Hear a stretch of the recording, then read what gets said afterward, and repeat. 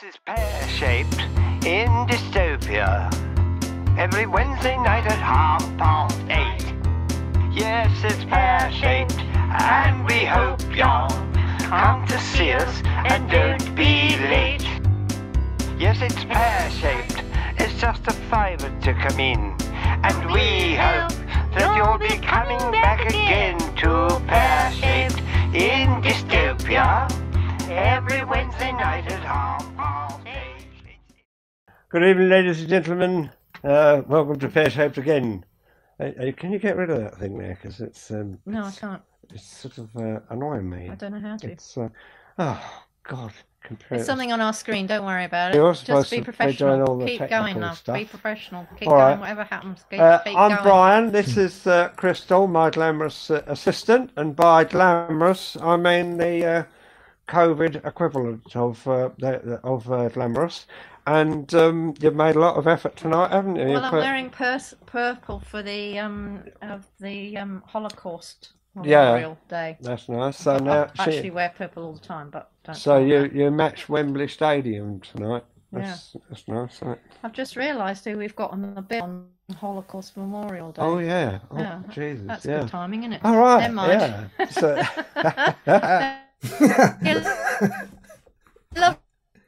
Yeah, Lovely surprise for everybody later. it it never occurred to me. Um, yeah. Okay, never mind. Um, there we go. Um, yeah, so we're uh, this is our fourth episode. Uh, two of them started off as uh, utter disasters and uh, repaired themselves with a little bit of help from me. It took about uh, it's taken about uh, three weeks to edit them to make them respectable.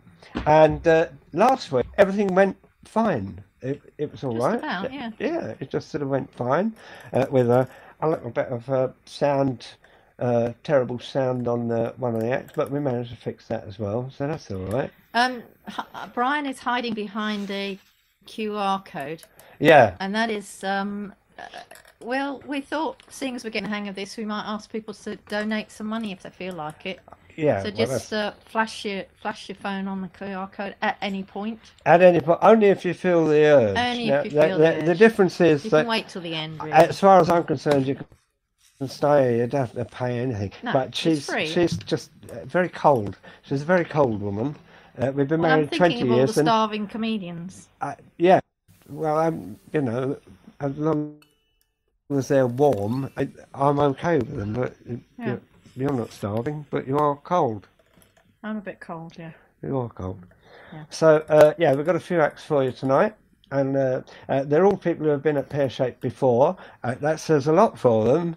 Um, that that means that they're, they're top acts, and um, uh, And we got them back. and they've they've come back, Yeah. which we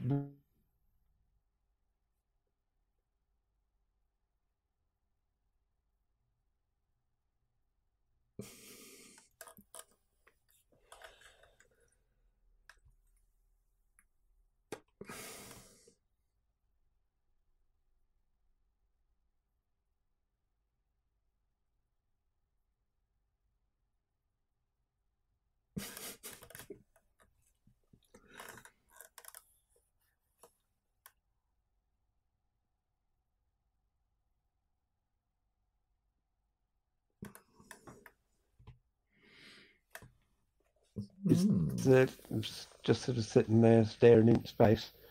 Um, Right. Well, I think we should um we should introduce the, the first act anyway. We were just Oh. rambling on for no apparent reason. yeah, all right. Who is the first act? Oh, I know who it is. It's it's uh, Dickie Richards. Yes. Dickie Richards. He's got jokes. Yeah. That's I think that's cheating. That's really. not pear shaped. That's not pear He- shaped. he- He's got having jokes. Dickie Richards, ladies and gentlemen. Hello, everyone. And we don't My name is Dickie Richards. or- I've just discovered two aliens having sex in my garden. It's just one thing on top of another. I've heard that Willy Wonka's chocolate factory's at the close down. Nothing to do with the pandemic. Short staffed. A friend of mine died a couple of weeks ago. Nothing to do with the pandemic. No, he fell off a boat in Venice and drowned. Now, I couldn't go to the funeral, so I just sent my condolences. Now, I'm all right after having COVID. Uh, my sense of taste hasn't come back. I'm still listening to Dido. Uh, I watched that film recently. I watched JFK. Very well shot. Now, that's not the best joke I've ever written, but the thing about that joke is that you will remember exactly where you were when you heard it. Yeah, when they told me my brain surgeon also installs home security systems, that really set the alarm bells off in my head. Yeah, it uh, sounds very glamorous to be recognised, doesn't it? I got recognised the other week, and uh, as I say, it sounds very glamorous, but uh, I was in an identity parade. My mate was an osteopath, but he moved to Egypt. Now he's a chiropractor. They, uh, they say you live by the sword, you die by the sword, and well, that's why I moved away from my neighbour, Mr. Wilkinson. They say giving up smoking is good for your health, but didn't do my granddad any good. Now, as soon as he finished his last cigarette, they shot him. Hmm, they say two heads are better than one, but I think they mean eyebrows. Yeah, my favourite position is the doggy position. That's right, lying in front of the fire going, gizzard sausage. I like mullets, that's the long and the short of it. I did some internet dating, it went alright. I met a really thin girl on Match.com. Uh, I once had a girlfriend who was a suicide bomber. Now, I disagreed with her fundamentally on almost everything. And one day we had a big argument and, well, she just went off in a huff. I find it interesting when famous people die. There's lots of public outpourings of grief on social media, lots of stuff about them on the news, but no one mentions ordinary people when they die. And I'll give you an example. Do you remember when Lemmy from Motorhead died? Big public outpourings of grief on social media, lots of stuff about him on the news, but no one mentioned all the other Lemmys that followed him off the cliff. Now, I like famous people. I've seen some famous people. I've seen, uh, I saw uh, uh, Bono from U2. Yeah, he was in a charity shop. He was rifling through the bargain bin. I said, all right, Bono, you still looking, mate? I saw Len Goodman. Yeah, he came tap dancing out of an STD clinic. He still got it. And I saw Warwick Davis standing next to a big horse. I said, all right, Warwick, how you getting on? Yeah, I once had a girlfriend who said to me, Dickie, I can do an impression of your penis. I said, can you? She said, yeah, it's not hard, is it? I've been hurt in love. It's my own fault for getting married to a wrestler. I know it was awful. Every time the alarm clock rang, she'd have me in a headlock. Every time the doorbell rang, she'd grapple me to the floor. In the end, I was just too frightened to, to use the microwave. You know, when she was a bully, she had a pet name for my Willie. You know what she used to call it? She used to call it Little Hulk Hogan. She used to say, oh, I'm looking forward to getting Little Hulk Hogan in the ring later. I don't know what she meant. But the final straw was when she gave me the Boston crab. So I divorced her. Oh God, she was greedy. She took everything. She took the houses, she took the car, she took the money, she took the iron, she even took the dog. But you know what? I got it all back. That's right. Straight after the divorce, I went to the shop and I got myself a new Monopoly set. Yeah, and uh, she used to sleep on the mantelpiece. Yeah, she was a, a, trophy wife. But I'm pleased for her. I'm pleased for her because uh, she's uh, got herself a sugar daddy. Yeah, she shacked up with some big fat diabetic geezer. I've had some one night stands recently. I had a one night stand with a waitress. And shortly after we started making love, she stopped and said, Is everything all right for you? I had a one night stand with a hairdresser. And shortly after we started making love, she stopped and said, Have you booked anywhere nice for your holidays? I had a one night stand with a taxi driver. And shortly after we started making love, she stopped and said, Have you got anything smaller? Now, this is exciting. It's exciting doing this, ladies and gentlemen, but it's not the most excited I've ever been in my life. Let me tell you the most excited I've ever been in my life. And that's when I had an Irish girlfriend who was about the same age as me. And she still lived at home with her mum and dad. And after about a week of being together, she said to me, Dickie, come, uh, come for Sunday lunch and meet my mum and dad. So I went to her house, Sunday lunch, and uh, I met her mum and dad and her mum was lovely. But her dad was a monster. He was a big muscly geezer with a bald head, wearing a string vest, tattoos all over his arm. And he's just glaring at me like that, glaring at me. Anyway, my girlfriend and her mum went to the kitchen and he said to me, now look here, we are strict Catholics and we don't believe in sex before marriage. If I find that you've been having sex or trying to have sex with my daughter, I'm going to tear you limb from limb. Do you understand? I said, yes, sir, I understand. No problem. Anyway, that night I'm saying goodnight to my girlfriend on the doorstep and she said, Dickie, tonight I'm going to leave my bedroom window open. I want you to climb in. I want you to make love to me in my own bed. I said, I can't do that. Your dad's just warned me off. He'll tear me limb from limb. She said, Dickie, it'll be exciting. So I did. That's right. I climbed in her bedroom window that night, got into her bed and I made love to her.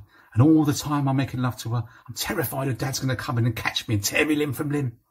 And she was right. She was right. It was exciting. Yes, folks, that, that was the most exciting 12 and a half seconds of my life.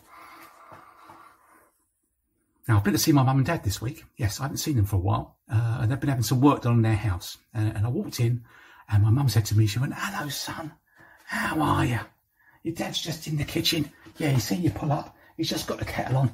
Yeah, he won't be a second. Yeah, he's just making you a cup of tea. And my mum, right, she's riding one of those mechanical rodeo bulls right in the middle of her front room. right? And the whole place is done out like a Western saloon. Right, my dad came out the kitchen through these flappy doors, got me a cup of tea, slid it up the bar to me. I caught the cup of tea. I looked at me dad. I said, Dad, what's going on?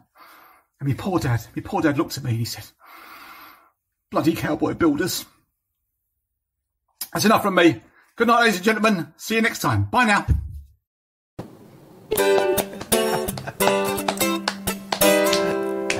Ah, that was Dickie Richards with his uh, with his jokes, which uh, we, we don't always have. Um, we didn't always have a at pear shape, but we we ha- he has jokes. Um, there's no one to do banter with, so that just really leaves jokes. So I've been trying to think of jokes like uh, I don't know. I found out the other day it takes a team of abseilers a week uh, a week to paint all four sides of Big Ben and clean it, and that's working round the clock. So that's a joke. Um, yeah. Um, uh, yeah. Why was the bank robber grassed up by the hole in the wall? Because it was an automatic teller machine. uh, that, these are silly jokes. Um, I, I, I, normally do the kind of observation. Like, uh, there's a lot of things to observe in the world, like uh, that are mysteries. Like, I don't know why there hasn't been a live action version of the Lego movie because there's been a live action version of uh, everything that there shouldn't have been that was made into a cartoon, like the Jungle Book, so which was a boring book, and then they made it into an interesting film, and now they've made it back into a boring film by making it live. So uh, this is like the uh, this is like the uh, sort of live action version of, of Pear Shaped. If it was live um, and there was nobody there, which there never was, but anyway, I don't know um, how to, I, I just give advice really from here. Things like have children. I think we should all have children because we've got an aging population. So if we if you don't have children, there'll be no one to pay your pension. Uh, that's that's that's what the politicians tell us anyway. Because they don't tell you at the same time as the children that are being born are also getting fatter and fatter. So if you work it out as a volume to surface area ratio, there's as many children now as in 1945. By 2150, there'll just be an enormous Billy Bunter child the size of Paul's Cathedral, and you'll all be working to support that. That's why the Occupy movement had to camp outside there to prevent that happening. Uh, that, that was a load of nonsense, the Occupy movement. I mean, I'm an old lefty, but I think there should be minimum qualifications for protest, like you should have to be awake. Because if falling asleep in the City of London was a form of political protest, I did that in my office opposite the Bank of England for about five years and nothing happened, except I was made redundant. Um, so it doesn't really work. Um, incidentally, if you want to finish a political discussion, uh, you just use the words economic neoliberalism. It doesn't matter if it's left wing, right wing, socialist, whatever, uh, green or, or world saving the planet. Just say the words economic neoliberalism and everyone will leave you alone because no one understands it. Anyway, that's a bit of waffle to bridge the gap between the acts. So I'm going to put the next act on, who actually has jokes as well. Um, so can we have some love and appreciation, please, from all the people who we can't hear, for the wonderful Mr. Don Biswas. Thank you, Anthony. Thanks, everyone. Thanks, Brian. Uh, uh, my name is Don. Uh, I'm not from here, which is the internet. Uh, I'm from a place called Wimbledon, which is the home of tennis. Also true about me is I have a learning difficulty called dyspraxia, which, among other things, affects my uh, coordination skills. Therefore, I am terrible at sport. So, as you can imagine, growing up in Wimbledon, the home of tennis in the mid 90s, and having coordination difficulties, do you know what that made me? British number three. Uh, everyone's talking about the pandemic, obviously. I was prepared than most because I live with my overbearing Indian mother. So I've been in lockdown for 37 fucking years. Uh, Boris Johnson's doing a bad deal or a bad job of handling the pandemic. I think he's behaving like a bit of a dictator. Uh, so much so, some people reckon that sometime this year, Rishi Sunak will become the first British Indian Prime Minister. Or as his parents call it, still not a doctor. Uh, my comedies, I'm a political comedian. It's all about celebrating diversity. I think we should celebrate it wherever we can, whether it's Black History Month, Dyspraxia Awareness Week, or even National ADHD Minute. I'm a left wing socialist, but I do corporate gigs because I'm broken and need the money. Hashtag hypocrite. Last year, I did a corporate gig for IKEA and purposely missed out some of the punchlines in the jokes just to see how they'll like it. I remember that gig. I got a standing ovation. I don't mean to brag. I don't mean to boast, but I got a standing ovation. Uh, uh, that's because no one knew how to assemble the chairs. So, pandemic's been an important issue, so as racism. I found out the other day that my girlfriend is against Black Lives Matter, but stupidly, I still want to propose. I'm just worried if I get down on one knee, she'll start booing me. And speaking of romance, after the New European negotiations have finished, single Brexiters can now find love on dating website No More Fish. Politically speaking, I'm a conspiracy theorist as well. So, uh, what does that mean? It means I'm into loads of things. First of all, the other day I tried to look as a conspiracy theorist, look for Flat Earth magazine on the internet. The closest I could find was Slimming World being a conspiracy theorist means I have questions about lockdown, and don't judge me on this. Don't judge me on this. But the other day, I went on an anti-mask rally. Obviously, I didn't want anyone to know, so I wore a face covering. I have things I want to know about the pandemic that have not been answered, like uh, uh, why are we counting false positives? Can asymptomatic people transfer the virus? In fact, the amount of people who died is not people who directly died of COVID. Why doesn't the news channel say it's anyone who's tested positive for COVID and then suddenly died? It could have been of a car crash or something else. Uh, why don't the members of SAGE admit their financial interests to see if there's any conflicts there? Now, when with these questions to my boss at work during my day job. And do you know what he said? He said, Don, these are inappropriate for a pub quiz. Uh, basically, what I'm trying to say is I don't trust Bill Gates, and Bill Gates has a hand in the vaccinations. I don't know why we put all our money, all our global health policy into a billionaire who broke competition laws in the 1990s. Uh, surely there should be checks and balances. And Bill Gates, I'm not saying Microsoft products are bad, but Bill Gates has achieved his vaccine quicker to the marketplace than it takes Windows 10 to update on my fucking laptop. Uh, if you want to explain my weird stage presence, by the way, before I move on, is I am also slightly autistic. Genuinely true story. Several years ago, diagnosed with a mild form of Asperger's. If you don't know what it is, it's a form of autism where you have problems communicating with people. Basically, you can't read someone else's body language. I don't think I've got this Asperger's.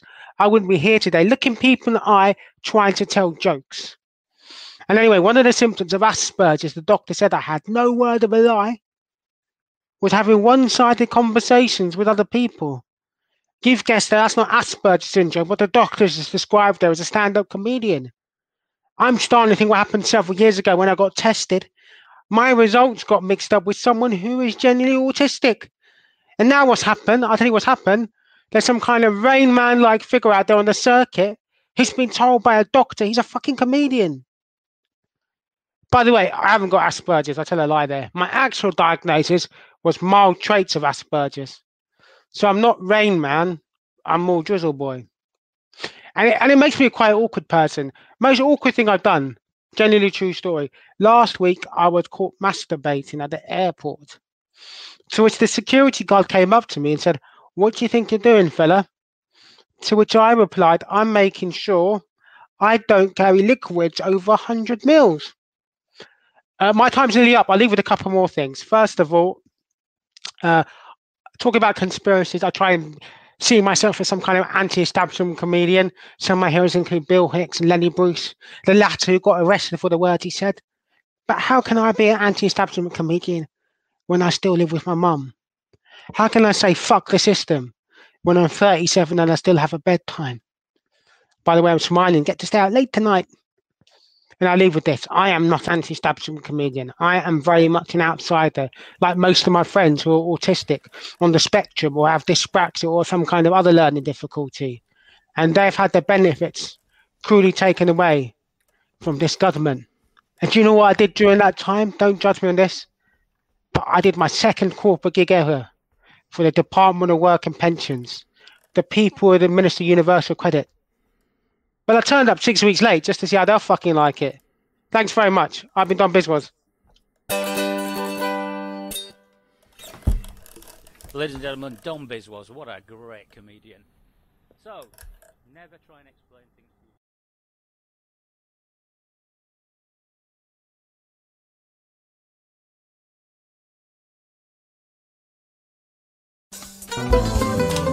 Oh, that was great.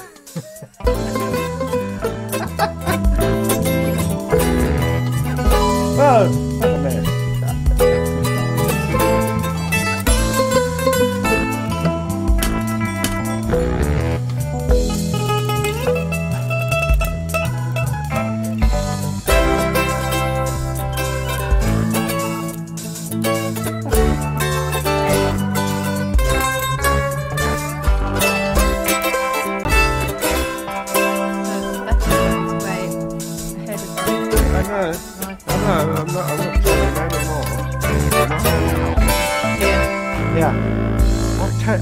Tell, telling him, get, I, I say, Al, get, get fucking Luke back, I say. If you want to play with. Oh, Right. Back to Brian. absolutely marvellous there, Alan. I don't know uh, how you managed to get such a great sound. Uh, absolutely fantastic. Uh, uh, are you a fan of Doctor Who? and uh, thank you, Al, uh, on your mandolin. You sounded fucking terrible as well. I don't know if it's the internet or if, it's you. Wait a minute. Ah. Now, are you ready? Uh, yes. Hello, Madge. Hello, Monty. Well, what a week it's been. Yes, we've both been working jolly hard. But here we are again, Whether washing, ironing, cooking, scrubbing, or in the garden too. Madge and Monty's handy hints I'll just the thing for you. Madge's tips And Monty's hints will help you through the day saving time and energy. in the most effective way. Monty Potter's in his shed. And Madge's kitchen bound. Wherever there's a problem, Madge and Monty can be found. Well, Madge, do you have any tips for us here this evening apart from get Luke back and sort out your fucking sound? Yes, and have better internet connections. Yes, Um, yes, I've got lots and lots of tips actually. Really. Belt tips, asparagus tips, racing tips, safety tips, cotton tips. In fact, the only tips you won't find in our little book are rubbish tips. Gosh, Madge, what a marvellous sense of humour you have Yes. for a woman. Yeah, yes, I'm not just woman, Monty. I'm British. Hurrah! Things to do with jammy jars, just fill them up with flowers. yes, Darning holes and hubby's socks, to while away the hours. Making magic potions to remove unwanted stains. Madge has lots of tips for you, so why not pick her brain? Yes. Well, what do you think of the audience? Gosh, Madge, what a marvellous audience. I think they're absolutely top class and tickety boo.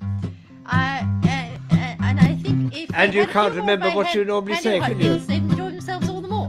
Pardon?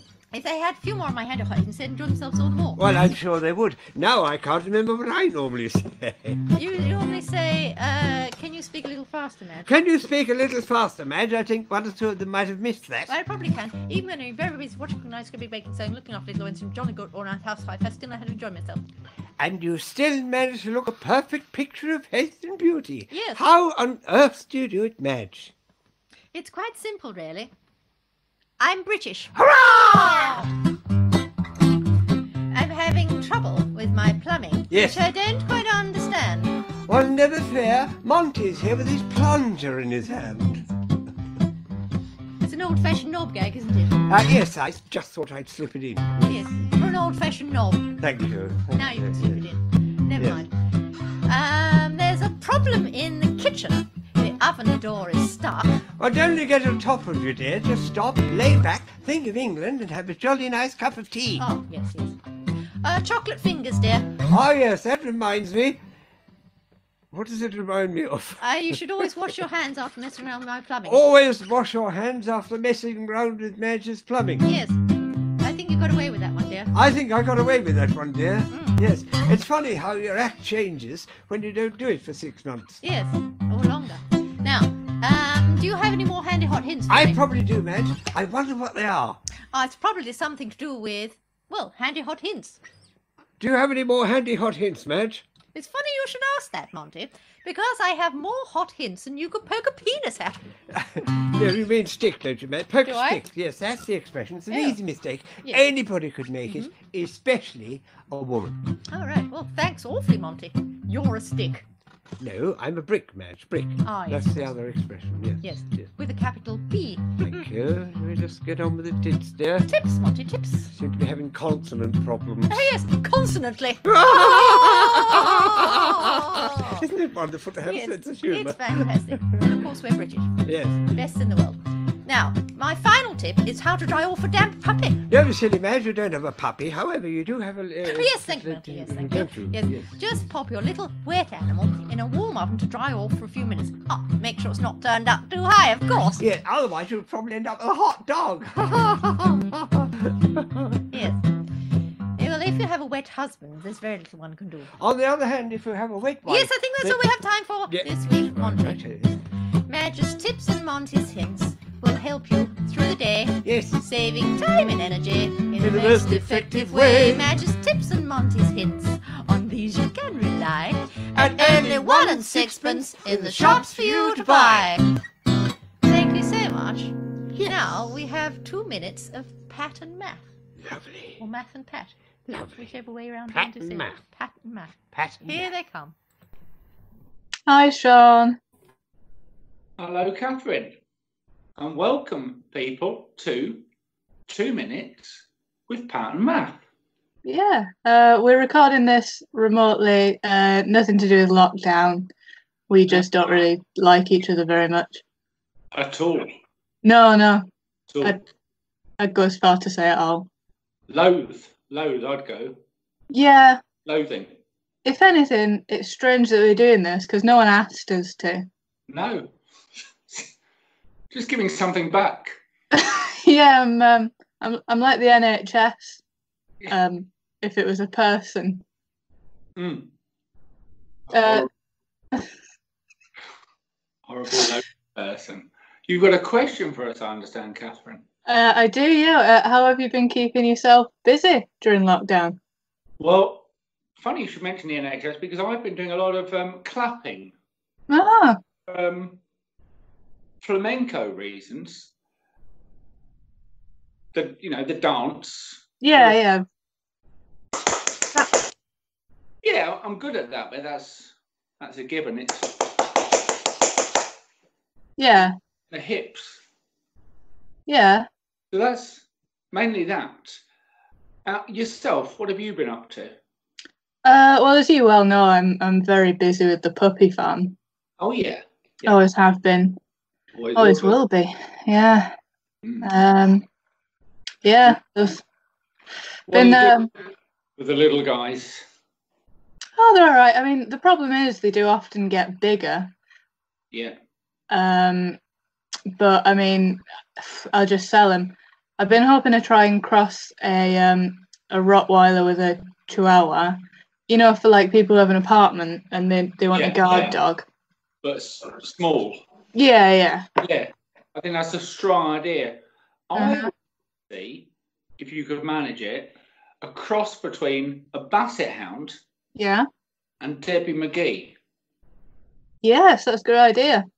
Because they both got the sad eyes. So Exactly. everyone, Loose bowels. yeah.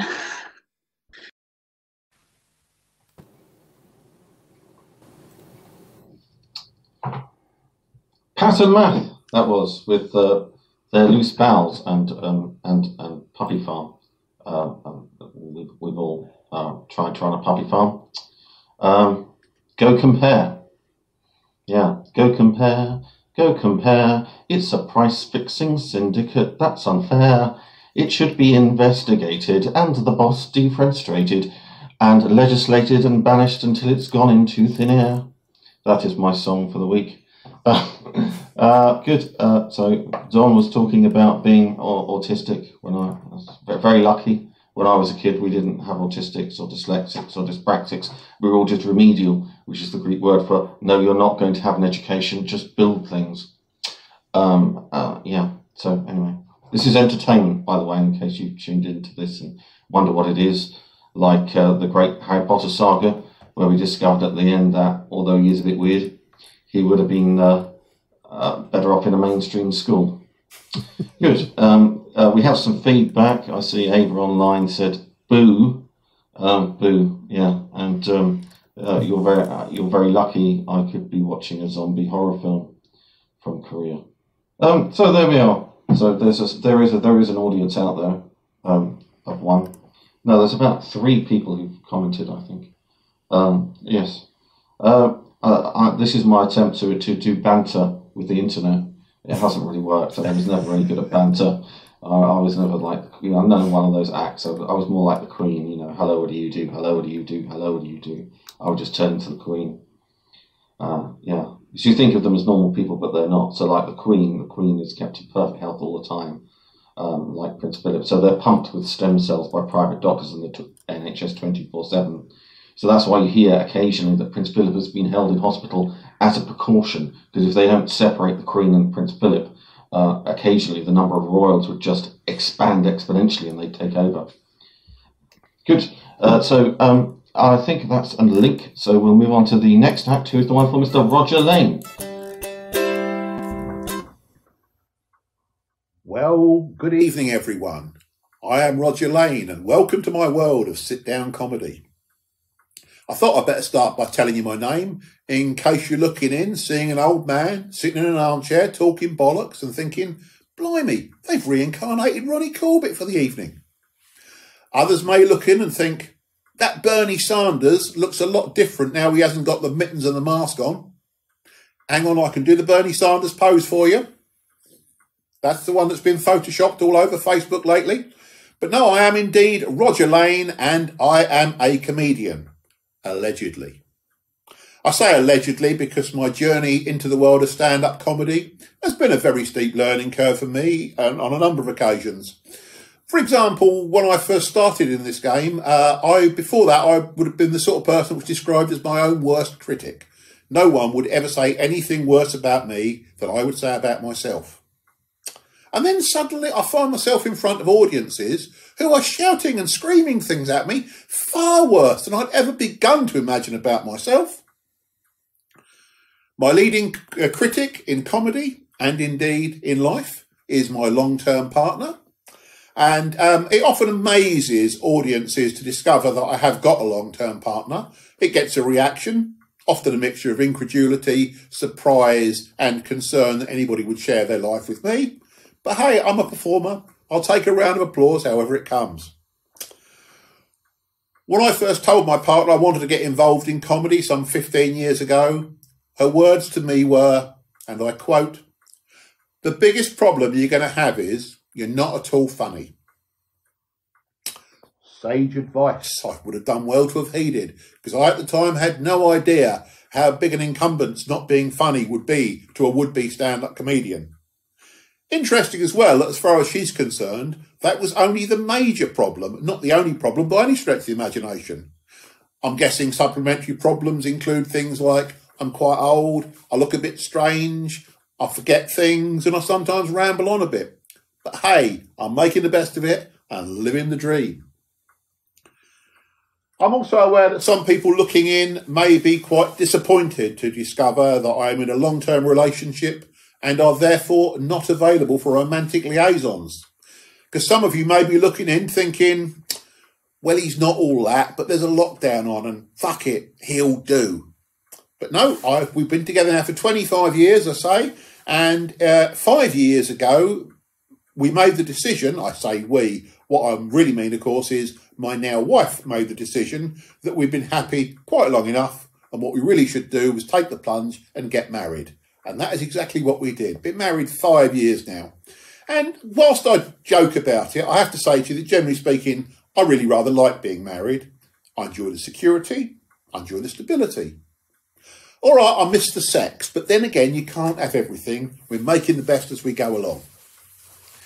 And one of the things that we realised when we went into lockdown last year was um, we were going to be very, very careful not to find new creative ways to annoy each other even more. Because after 25 years, you develop quite a portfolio of peccadillos to annoy other people with.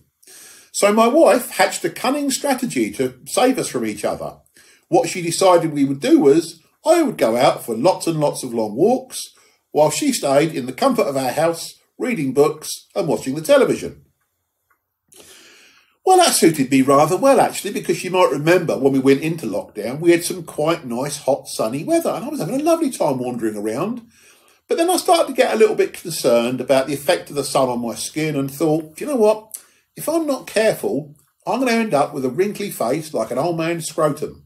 I've got to get myself some skincare. So I popped into Boots the chemist and got myself some sunblock. Marvellous stuff. Factor 85.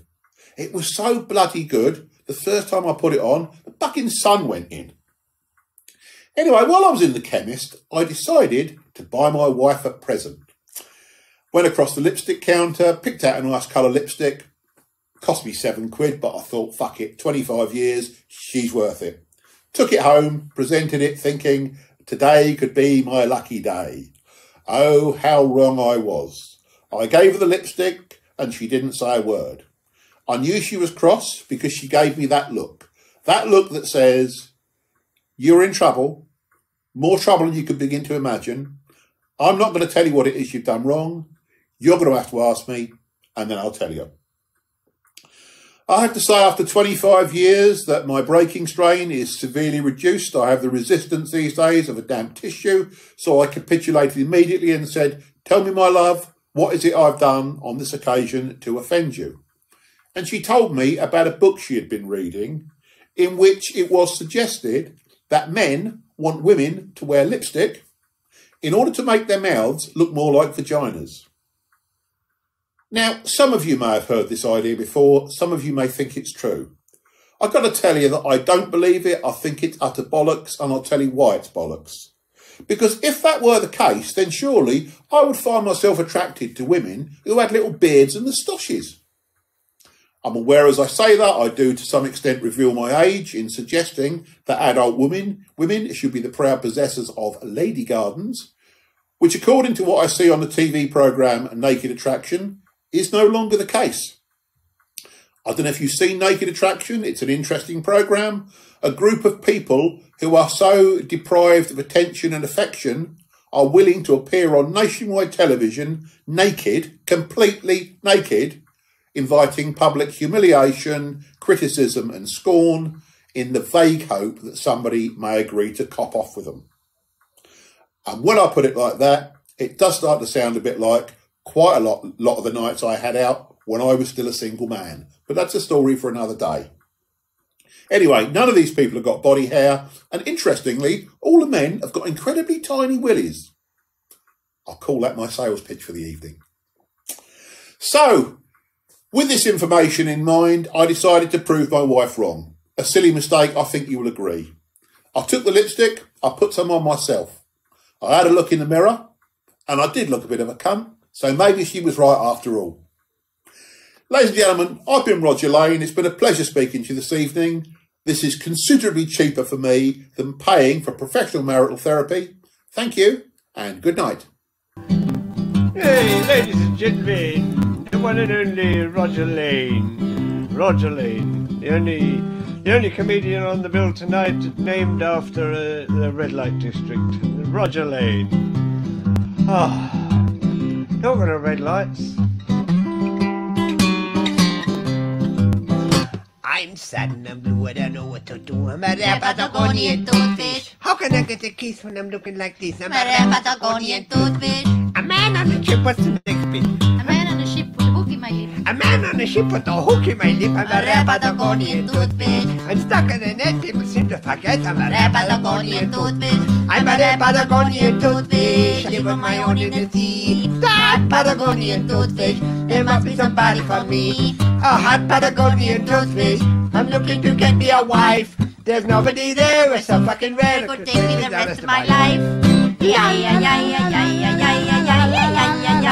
I'm a rare Patagonian toothfish. I live on my own in the sea. That Patagonian toothfish. There must be somebody for me. A hot Patagonian toothfish. I really don't know what to do. If I had a wish, then you'd be a fish, and I'd make a meal out of you. You look a bit scrawny, but God, I'm so horny, I think I might settle for you.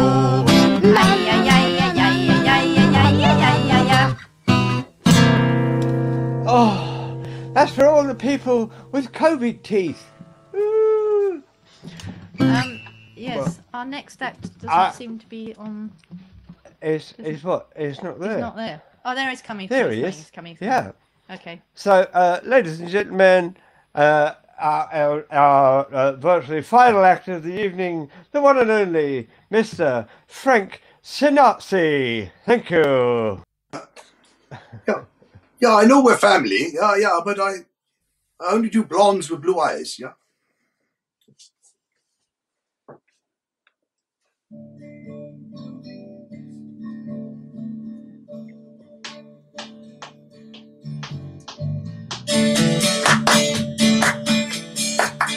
Clapping for the NHS, yeah? Well, I know just what you're doing tonight. I've got the feeling that something's right. It's so hard to put a smile on my face. Cause I'm totally sick of this place. Guards to the left of me. Ava, she's alright. Here I am, stuck in this bunker with you. Yes, I'm stuck in this bunker with you. And I don't know what it is I should do. I'm pacing up and down across the floor. What in hell did I go to the kitchen for? Guards to the left of me.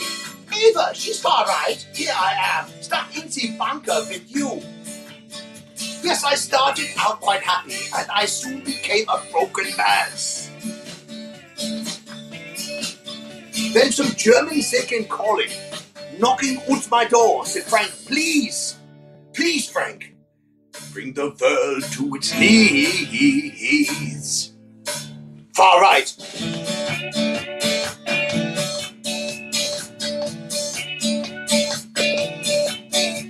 I'm trying to make him sense of it all. And I'll end up giving Churchill a call. This war is all I'm waiting for. And I'm waiting for this knock on the door. Speer to the left of me. Light to the right! Here I am, stuck in the bunker with you. Funny dance. To the left, to the right, to the left, to the right, to the left, to the right.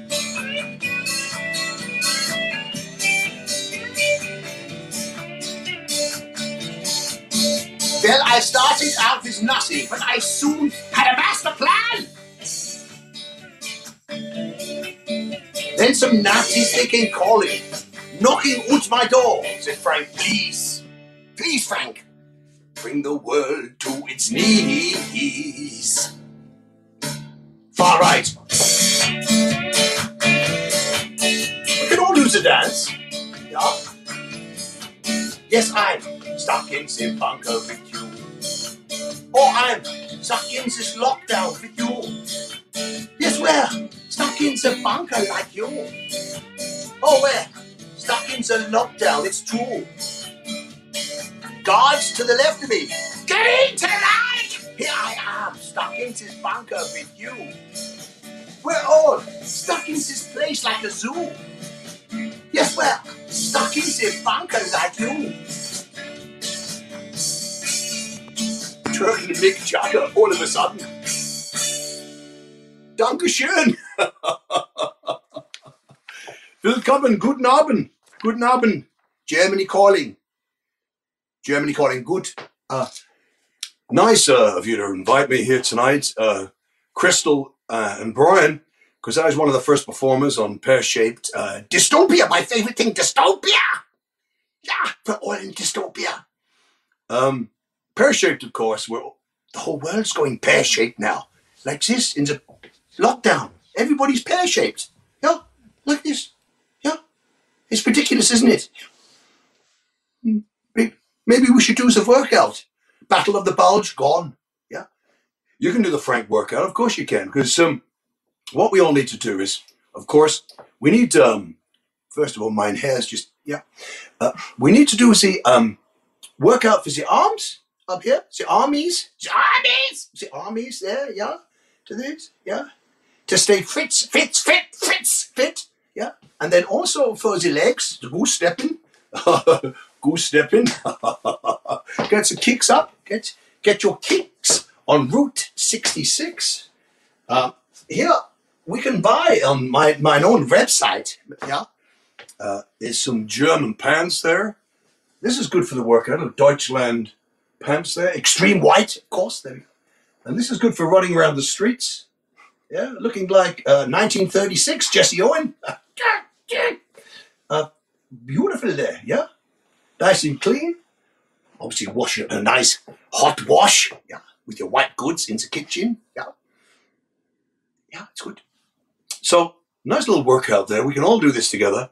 Um, and perhaps some of the Iraq Pack, my buddies, the Iraq Pack, of course, I'm Frank Sanazi, the leader, the Obermeister of the Iraq Pack. Uh, you might you might have heard of us. Uh, the other guys, Saddam, of course, Saddam, Saddam. Davis Jr., um, uh, Dino Stalin, Dean Stalin, and Osama bin Crosby. Of course, the four singers, the Apocalypse is what they call us. Uh, we'll all be doing this little workout together while we're so bored. It's so boring in lockdown, isn't it? Even the Ger- the Germans, they are taking it very, very, sehr seriously at the moment. They've uh, in their hospitals, they're putting the towels down on their bed straight away because they know they're in trouble. Yeah, so get their early beds. Yeah, that's what's good. So anyway, so the workout is one thing to keep fit. We need to keep our saneness about us. Yeah, keep the sane, the, the, the, the, the marbles in the right place. It's as Germans are all about efficiency, you see. Um, now the thing is, um, another thing you can do, um, of course, is to uh, for keeping fit is to play football. Now I like to play football. Um, a lot of people in the UK like to play uh, eleven aside, or they like a bit of fitness for the five aside. I of course prefer genocide. Yeah, uh, of course I was a very good penalty taker, which the English hate. Yeah, and I played on the extreme right wing, which was good, very fast down the right wing. Yeah, cutting in behind enemy lines down the right wing, always good. The, the English they hated this, but here we go. Here, we go. I said, "What's going on? What's going on? Pear shaped. What's going on? What's going on?" Could you imagine if Marvin Gaye were German? That's just how that song would sound. Just like that. Beautiful. Um, now, the good thing about football, of course, it is uh, it's two halves, 45. I can never get past 45. 45 minutes, uh, two minutes, uh, two lots of 45. Um, and it's a, it's a good game to keep the uh, angles up there. A lot of comedians have struggled in lockdown. I know this for my, myself. I mean, I've lost loads of gigs. I've uh, oh, my, mine hair, is going que- queer. uh, this, mine camp. yeah, a lot of um, yeah, a lot of people, a lot of comedians lost gigs, of course, in um, in lockdown. I've lost a load of gigs. Uh, of course, I was doing a lot of work for Jeremy Corbyn, uh, the Labour Party. Uh, in fact, I lost a gig last week, and not nothing to do with him. It was in uh, Stamford Hill uh, last uh, last weekend. 150 wedding guests. If call me up the last minute, kaput. Don't know what was going on there. I saw them clambering across the fence, like the good old days. anyway, I didn't get paid. Awful times. Yeah, Jeremy Corbyn. I didn't get any gigs for him anymore. Um, used to do the odd rally, and UKIP. Not getting any work from them, so it's it's tough. It's really tough for us comedians in, in times like this. Um, now, for that matter, I, I mean, on a positive note, though, I did get a pardon uh, from Donald Trump by my comedy in the last day. He gave me a pardon, one of the pardons there. Uh, but of course, when another U.S. comedy dictator down, you know, all we got left is Putin, Putin, Putin on the Blitz, Putin on the tits. Uh, Putin on the Blitz is one of my albums, actually, a lovely album uh, there. Yeah, it's great. It's a great album. Gotta say, great. Get your chance, you gotta buy it.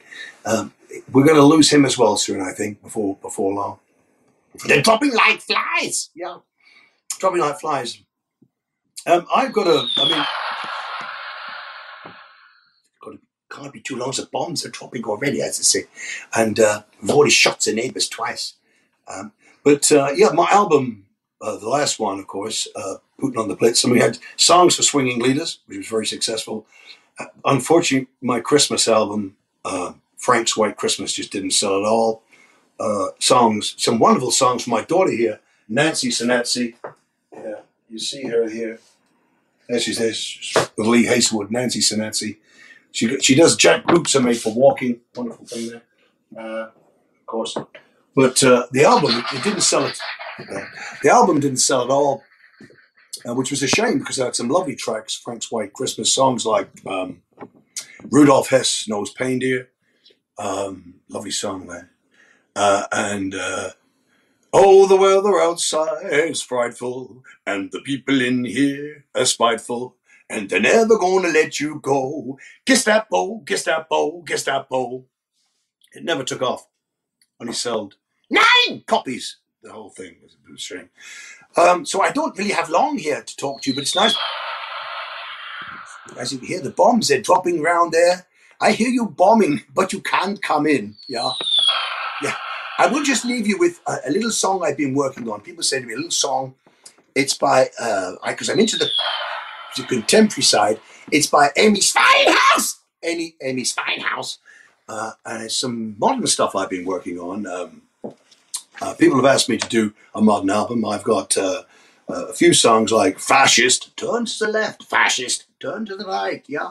And uh, uh, uh, Hitler with the rhythm stick, Hitler, Hitler, das ist gut, say, fantastic, Hitler, Hitler, Hitler, Hitler with the rhythm stick, nice to be a lunatic, all those songs here. And he's a dedicated follower of fascism. Say, seek me here, say, seek me there, from Berlin town to Leipzig Square. Also, songs were on my new album releasing next year, of course. But one song which I've been working on, and I'm going to do it a cappella for you now. It's very difficult to see on here. I feel like a bomber from, yeah, I feel like bomber over over London, 1941. Yeah, yeah. This is a song by Amy Schweidhaus. Well, sometimes I stay in by myself and I'm looking out the window and I think of all the things I could do. And in my head, I paint a picture. Since I've been at home and my bunker's such a mess and I feel like breathing fresh air and mine hair is such a mess. Won't you come on over? No, don't come on over. Don't make a fool out of me. Why don't you come on read Mein Kampf with me? Mein Kampf with me. Or and Frank's diary. Ann's diary. Ann's diary. Danke, I hope you likes this. Um, it's my latest song. It needs a bit of work, I agree. Uh, but stay sane in January. And myself, I had trouble early January there, New Year's Eve. Um, I don't like New Year's Eve. I've got old anxiety. So petrified by that. Staying safe, safe and sane. Don't split up with your partners. It takes two in this relationship, remember, folks. Yeah? Even if you're schizophrenic, think of yourself. I've been Frank Sanazi. Auf Wiedersehen. I must go. Frank Sanazi. Um, uh, yeah, Frank Sanazi, um, uh, who uh, is, is not to be confused with Mr. Hitler, um, as uh, one audience did once. But then uh, he was talking about UKIP. Uh, I, I, I, UKIP are strange. I, I kind of I get, I kind of have a sort of vague sort of idea of what UKIP are, but you know they, they try, bless them. I, I think they, they sort of try. I, I, like uh, I mean they're, they're not completely off the off the scale. I mean at least I managed I managed to sell some of them uh, a case of South London beer. It was a case of Pride and Prejudice. Anyway, um, when we did have audiences uh, back in the world of the past, I did this gig once, and I remember there was this man, and it, I don't really do much banter, but I just said, um, uh, it was just before the 2005 election. So I said, is anyone standing for election? And this bloke said, he is. Um, and, and then it all went a bit quiet. So then I had to talk to this man. I actually, actually talked to him. So I said, well, uh, where, what, uh, you're standing then and, uh, uh, uh, in the election? And he said, yes. So I said, well, what party are you standing for? And he wouldn't tell me. And it was really awkward in the room because, it, you know, when you, so I said, well, I'm not picking on you. I'm just asking, who are you standing for? Because I'm trying to, you know, you've got a room. And, but he just wouldn't talk to me. And it was really, really awkward. And uh, anyway, at the interval, he came up to me and uh, I said, uh, I'm, I said, I'm sorry about that. I wasn't picking on you. And I said, uh, what parties it you do stand for? And he said, well, uh, my name's Gerard. Uh, his name was Gerard. It was so. My name's Gerard, and I, I'm I'm standing as the UKIP candidate for Richmond. And uh, I I I, I realised later this is Gerard Batten, who went on to become the leader of UKIP after Nigel Farage. And I said to him, well, look, Gerard. I mean, I wasn't picking on you. You had a room full of people there, and you could have made a connection you know, you had a, a ready-made audience. You could have sold yourself to that audience. You could have get more people for, for, for UKIP, but you, you didn't take up that opportunity. And then later on, I realised that, uh, that, that, that that was a really stupid thing to do because um, he obviously took that advice on board and uh, made UKIP very successful with, with, with Nigel Farage. And, and now I feel guilty. I feel like I am responsible for UKIP. I'm responsible for the referendum. I'm the person who gave them the promotional advice to make it happen like that. It is my fault. I am guilty. You know, I, I caused the referendum single-handedly. It was it was like it's like having said to Hitler, you know, um, you want to give up this beer hall stuff. You know, give up the beer hall stuff. Go for something bigger. You need a better venue, a better class of act, support act. You know. Uh, anyway, that's a link and a little bit of real story. Um, so, can we have some love and appreciation for the next act? Another two minutes of Pat and Math. Hi, Sean. Ah, Catherine. Hello and zippity doo da. Welcome to two minutes of Pat and Math. What do you want to know? Well, today, Sean, I'm asking, what's your favourite swear word? Hmm. I was afraid of this, Catherine. See, I don't think that blue language is clever or necessary. There's no need to be going around effing and jeffing in front of impressionable young people. Give the children back their childhood. So if I'm forced to give you an answer, then I would say heck. Heck. Heck. What? Okay, so whose children are watching these videos? It's not just these these videos. We've got a responsibility to the world. I believe the children are a future. Oh, Teach yeah. them, teach them well. Let them lead the way. Let them swear. Well, go on then. What's your favourite? I think it's it's got to be cunt, and it fucking cunt. You That's know. Um. Oh, okay. Well, Even I know that. Yeah. I mean, I've got this mug Yeah. um, that makes my feelings clear. Well, actually, no. Let's say let's say fuck because it's a very versatile swear word. yeah. Um, I've used it in many different ways, much like cunt, um, which has, you know, stopped our videos making the progress that they otherwise could have done. yeah. But I refuse to bend to pressure. Uh, I am what I am. I am my own special creation Yeah. and a fucking cunt. Yeah. You're a heck. I am. I also know that my dad watches these and hates me swearing. Hi, Dad. Sorry, Mr. Math.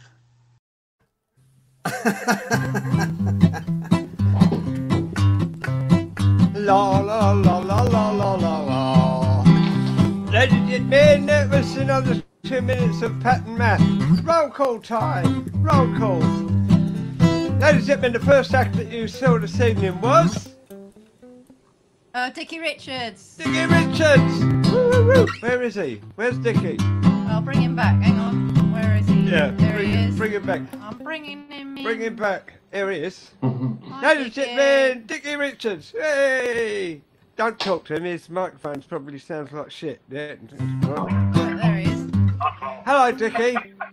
Hello, Brian. So, oh, he sounds all right. You sound all right. That's, that's good. All right. Yeah. Well done. Well done. It, it was flawless. Your bit earlier on. Okay. Flawless. It was like, like, yeah, flawless. So that was uh, Dickie Richards, and uh, who, who, uh, who came on after? after Well, us? Uh, Anthony Ant- did a bit. Ant- Ah, Anthony, yeah. wasn't it? A- Anthony Anthony, did. yeah, yeah. I introduced introduced- Don Biswas. Anthony introduced Don Biswas, ladies and gentlemen. Don Biswas, who his, his uh, sound uh, was shit earlier on, and he put a lot of work into it. Al, he put a lot of work into it. He, he, he got the sound right in the end, and it was brilliant. And uh, Well done, and he's Don. very funny. Thank you very much. Thank Don. you. Cheers. That was very nice. See, Al, you could sound like that if you get Luke back and put some work into it and think about it. I'm telling him about a free program to, to make him sound good, and he, he won't. He, he won't do it. Uh, Right, and continuing with the roll call, we had Yeah. Mr. Allon Lister. Allon Lister, Mr. Lister. Where's Mr. Lister? you know? Yeah, He's uh, in. well done, Allon. Your sound was Your fucking sound rubbish was as well terrible as tonight. well. It was terrible. Yeah, sorry about that. Got there in the end. Yeah, it was terrible. But I, I think you and Alan, should, uh, Al, uh, Al, uh, Al Mandolino, should get together and do a double act without sound. The sound that he gets and the sound that you get, I, you, you'll be in the charts. anyway, where are you? You seem to be in the pub. Uh, I'm in Yeah. Harry's Bar in Venice. Oh, so those what? people at the bar have been there a long time, haven't they? House bar in Venice. You're in oh, Venice. No, not really. It's just the Oh, background. very nice. Nice. It is Harry's Bar though. We had a gondola joke earlier on. You you probably missed that, but then you probably had it up to here with fucking gondolas. we were in Venice a while ago, and the one thing I refused to do was to go on a gondola. I said, I'm not going on a gondola because those fuckers on them gondolas, they look like London cabbies. And you can imagine them if they were talking with a lot, saying, Oh, I've got another couple of cunts over from England. Play your accordion, try and look Latin. So uh, we didn't, uh, and I thought they were probably even more expensive than taxis.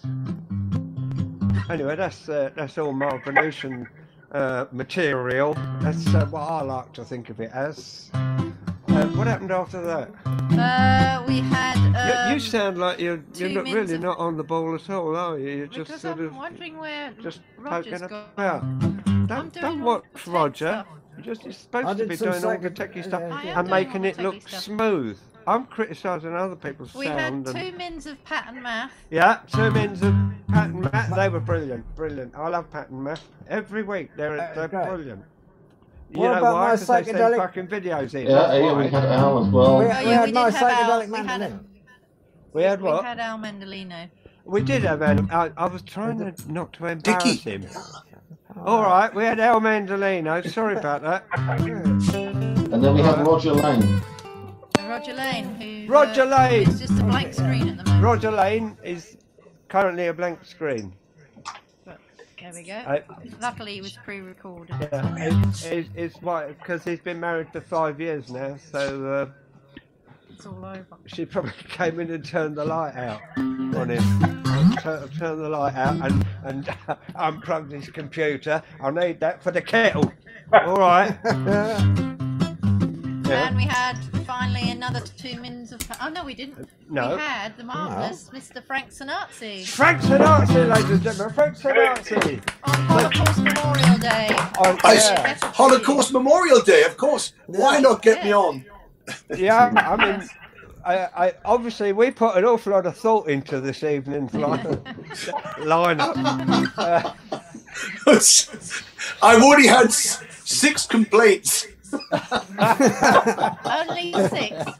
yeah. Yeah, for the people who, who got thrown out in Stamford Hill from the wedding. Oh, Uh, Oh yes. yes. yeah. So, uh, so that was What do you brilliant. do? That was brilliant, Frank. And uh, Frank, look back. All right, ask Al. He knows all about Yeah, it. yeah, look back, look back, yeah. to the Yeah. days when the nights were young. Look back. yeah. Yeah, yes. Don't look back in anger. Look back to the days when the nights were young. Look back. We only Yeah, look yeah, back. yeah, yeah. I, we're all caught in a loop at the moment. It's like Groundhog Day every day of the year. Yeah. Actually, it's Groundhog Day soon, 2nd of February. Yeah. Come back quick. Is it? So, so, so that, that's That's yeah, Giant Carousel Week. That comes round quick. Giant Carousel.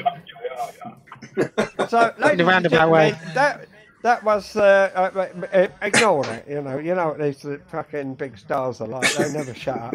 Uh, so, so that that's sort of the end of the show. So for the end of the show, we have Oh. uh, we have our, our little theme tune, and uh, uh, which is, is going to show. And, and then after that, we have the green room, which is the post mortem, and we, we ask each other. So, how do you think that went then? Yeah. And we look back on the whole thing and see how we can improve for future shows. And, for um, future reference. And we've already had one, at least one donation. So thank you. To Yeah. You. That, won't Oh, name wow. you in case you want to remain. Yeah, we've got a fiver between the uh, seven of us. Yeah.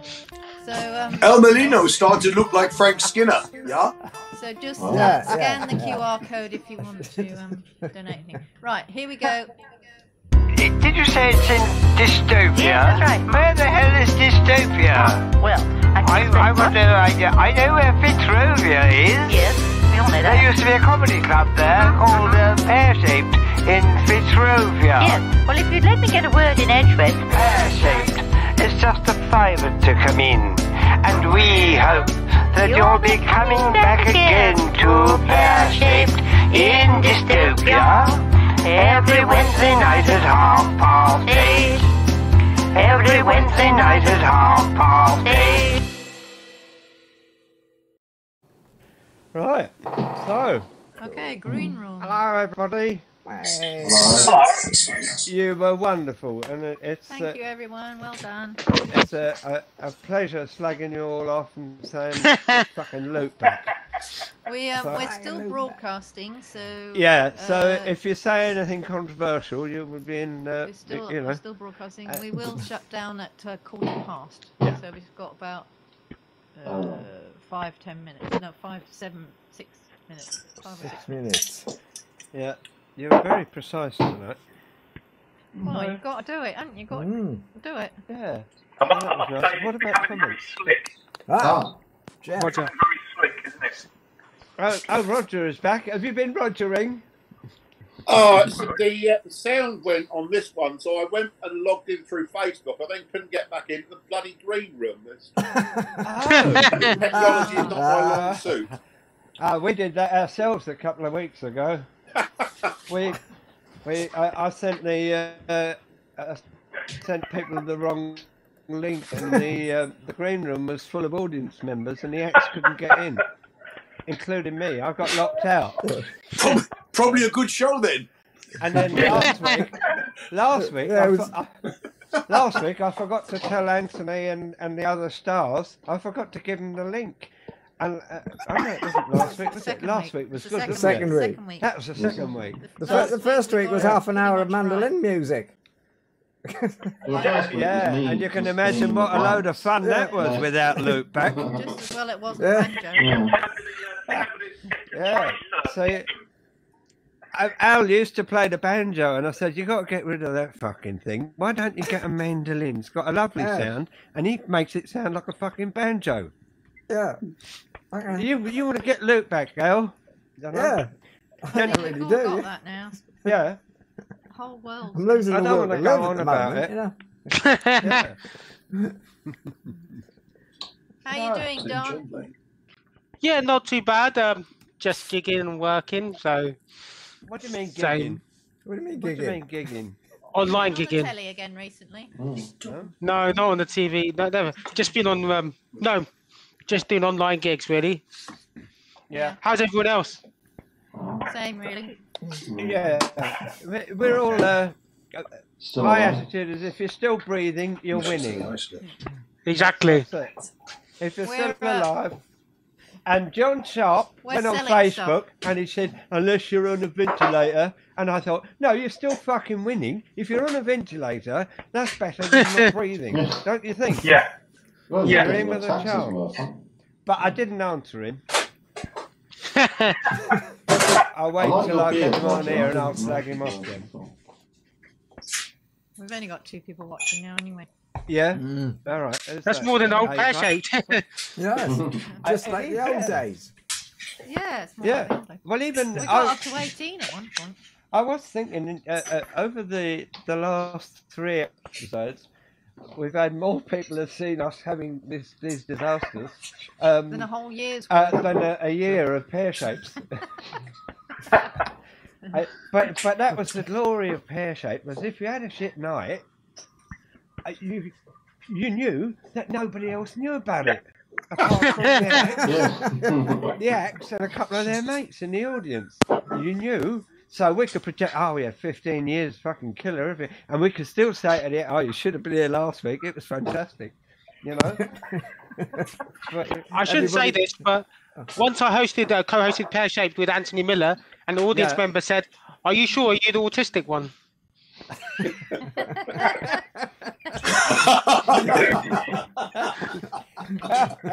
Tom Heckle. I, there was one night we were doing pear shaped, and somebody got up and said, uh, "Hello, I'm a comedian. I've got Asperger's." And half a dozen of the acts went, "Oh, for fuck's sake, he's doing my material." Are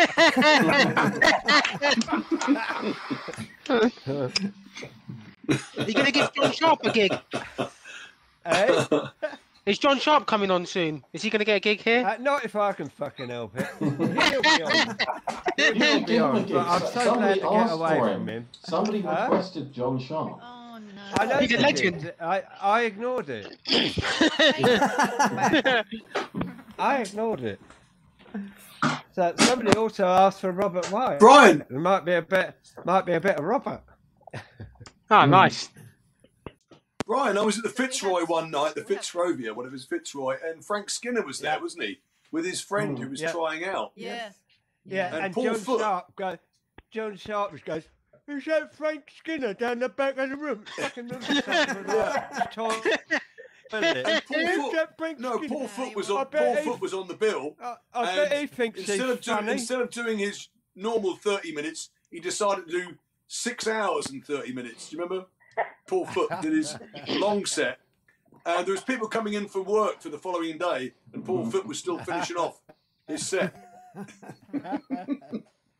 I like packed Mm, room that mm. night. It was unusually very, very busy when he, Frank Skinner was there, so that was quite. I like the Well, one there was when, eight. Uh, Stewart Lee did it. Stewart Lee did it, and he took a dislike to the front row. He said, "No, fuck you. Yeah. look, I'm going to go and work to those people down the back." So they- Everyone they're all sitting turn at the around. front. Everyone had to turn around and watch him at the back. Yeah, yeah. He just didn't like the look of them. He said, "No, fuck you." Right, I'm ending the broadcast, but you can stay in the room. yeah, uh, and you, you don't have to feel obliged if you've suffered enough.